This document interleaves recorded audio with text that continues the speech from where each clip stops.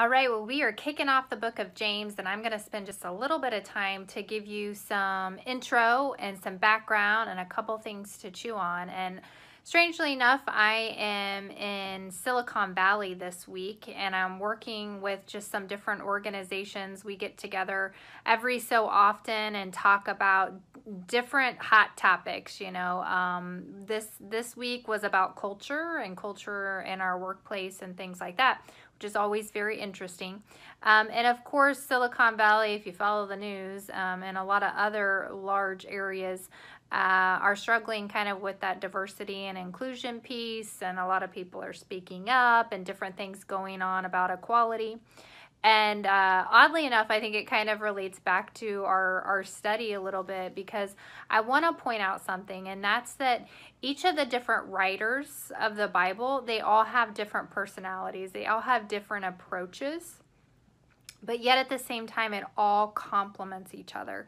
And that's a beautiful thing because we know God orchestrated that. We know that's inspired of Him, that we can be individuals and we can take different perspectives, but they all align to the character and who and who God is. So we, if you look at the um, different New Testament books, especially, you know, Paul sets forth primarily the gospel for the Gentiles. And then we're going to learn in James, like he's really speaking to the Jewish people. And then if you think about Peter, he kind of represents the the bridge between the two.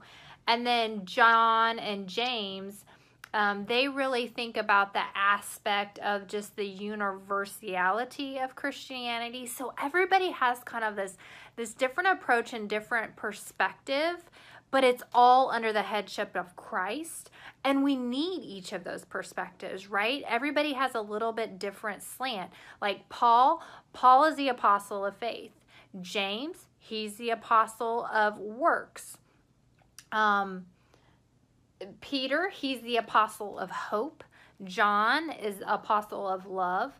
And Jude, he's the apostle of the defense of the faith.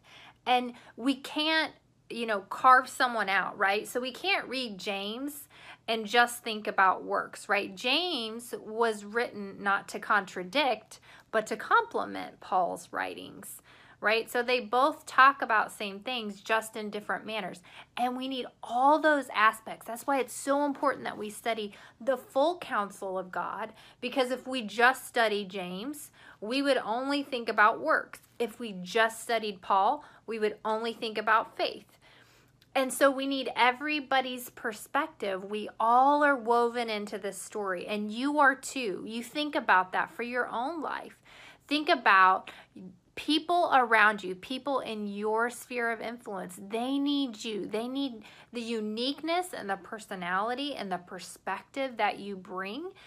And then you need someone else, and you need to make sure your sphere of influence is diverse, right? That it's got different perspectives, different approaches, different backgrounds, different socioeconomic levels, because from that, we derive perspective and truth, and we begin to sharpen one, one another.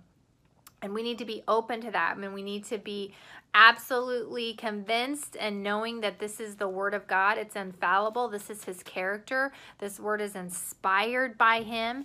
And even though everybody comes to the table and pins it in a different personality or a different take, it's all facets of who God is. Just like you are a reflection of his glory, so are these books. So enjoy that and remember that as we study James, which is about spiritual maturity and about and about works that we need to balance that with what we've learned in Ruth and in, with Paul and the prison epistles.